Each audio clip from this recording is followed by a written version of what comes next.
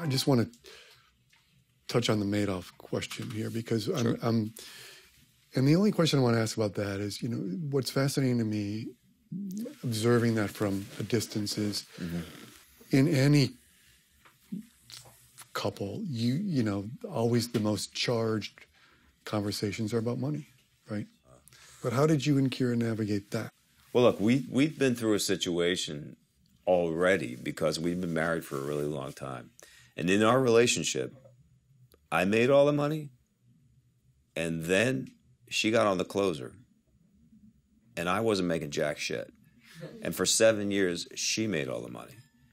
So we already had this kind of like, there was a certain sort of balance about that whole issue. Even if I think we were pretty cool about it from the beginning, but even if we weren't, like that really made a, a great balance.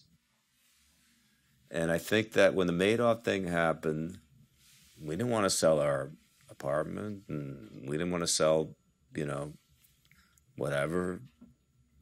But we knew we could. You know, we'd be all right.